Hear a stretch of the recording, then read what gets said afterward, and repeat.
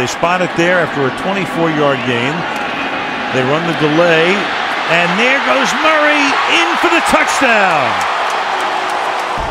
Let me just tell you something. Jason Witten is one of the great players in the game. Watch this block. Not only does he make it against Junior Galette, but he gets him turned. He gets on the good